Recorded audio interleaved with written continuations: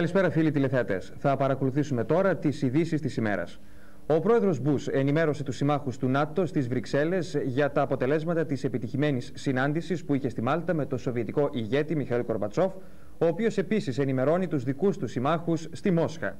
Πριν από την ομιλία του κυρίου Μπούς, παρουσιάσεις έκαναν οι πρωθυπουργοί του Καναδά και της Ιταλίας, οι οποίοι συναντήθηκαν και αυτοί πρόσφατα με τον κύριο Γκορμπατσόφ, καθώς και ο Γενικός Γραμματέας του ΝΑΤΟ, κύριος Βέρνερ.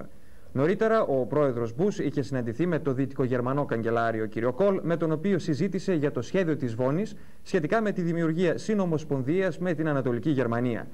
Να ρίξουμε μια ματιά στις πολιτιστικές ειδήσεις. Συναυλία δίνει απόψε στις 9 στο Βασιλικό Θέατρο η Δημοτική Ορχήστρα Θεσσαλονίκης. Θα ερμηνεύσει έργα Μότσαρτ, Μέντελσον και Μπράμς. Σολή στο πιάνο η Μέρη Μανολεδάκη Μάνεση και τα έσοδα από τη συναυλία θα διατεθούν για σκοπούς της Ελληνικής Εταιρείας Προστασίας Αποκατάστασης Αναπήρων Πέδων. Συναυλία αφιερωμένη στη μνήμη του Σόλωνα Μιχαηλίδη. Απόψε στις 8.30 σε λίγο δηλαδή στην αίθουσα Αυλαία της Χάνθ από το Κρατικό Οδείο Θεσσαλονίκης. Για τη ζωή και το έργο του Σόλωνα Μιχαηλίδη θα μιλήσει ο Διευθυντής της Κρατικής Ορχήστρας Θεσσαλονίκης, κ. Άλκης Μπαλτάς. Μυρτιώτησα η ποιήτρια των δώρων της αγάπης. Είναι το θέμα της ομιλίας της Ελευθερίας Μαυρίδου στις 8.30, πάλι επίσης σε λίγη ώρα, στο Βαφοπούλιο Πνευματικό Κέντρο του Δήμου Θεσσαλονίκης. Χαίρετε κυρίες και κύριοι. Οριστικά αύριο στις 8.30 ώρα Ελλάδας θα γίνει ο αγώνας για το κύπελο κυπελούχων ομάδων Ευρώπης στο μπάσκετ μεταξύ της Real Madrid και του ΠΑΟΚ. Αρχικά και σήμερα το μεσημέρι είχε συμφωνηθεί από τις διοικήσεις των δύο ομάδων ο αγώνας αυτός να γίνει την Τετάρτη στις 8.30, αλλά πριν από μία ώρα η Ισπανική ομάδα ειδοποίησε τον ΠΑΟΚ ότι δεν μπορεί να γίνει ο αγώνας την Τετάρτη γιατί υπάρχει πρόβλημα με την Ισπανική τηλεόραση, αλλά υπάρχει και νέο πρόβλημα με τα εισιτήρια επιστροφής της αποστολής του ΠΑΟΚ. Έτσι, οριστικά ο ΠΑΟΚ θα παίξει με τη Real Real Madrid αύριο στις 8.30 το βράδυ, λίγες μόνο ώρες μετά την κηδεία του Φερνάντο Μαρτίν, του 27χρονου Σέντερφορ της Real Madrid, που σκοτώθηκε χθε σε αυτοκινητιστικό δυστύχημα.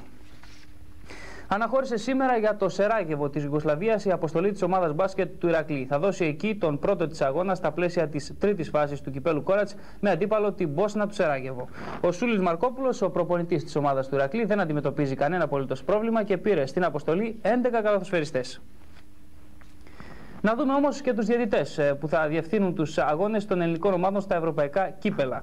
Κύπελο πρωταθλητριών. Ο Άρης ε, παίζει την Πέμπτη με τη Λέχ Πόσναν, ένα παιχνίδι που θα αρχίσει στις 10 παρατέταρτο στο Αλεξάνδριο. Διαιτητές θα είναι ο Μα ο Ισπανός και ο Τότσεφ ο Βούλγαρος.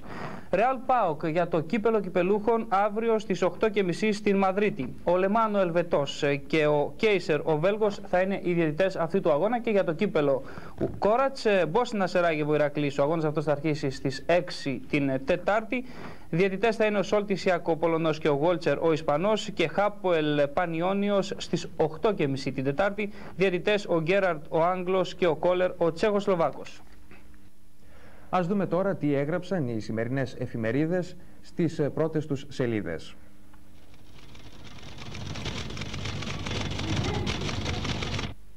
Θεσσαλονίκη. Με δόσεις ή αυξήσεις συμφώνησαν για δύο φάσεις αδιέξοδο στη Λειψιδρία.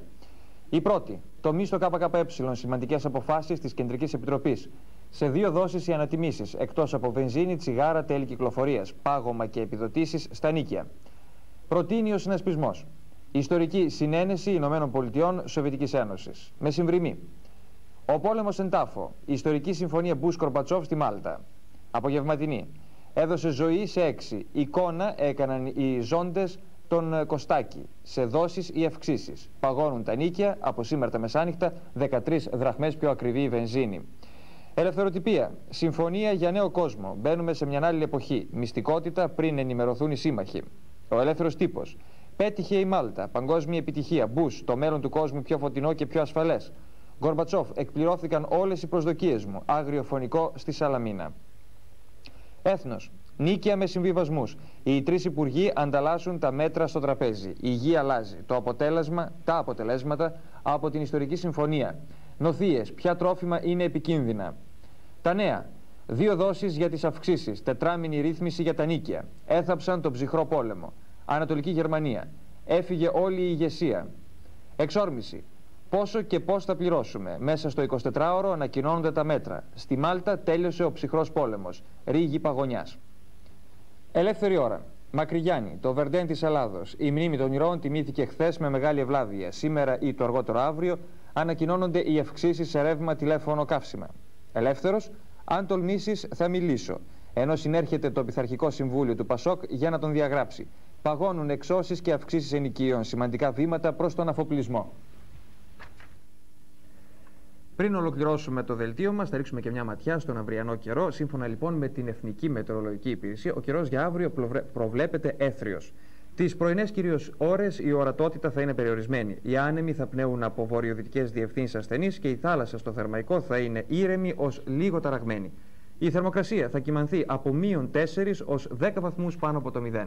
Οι επόμενες ειδήσεις στις 11. Καλό σας βράδυ.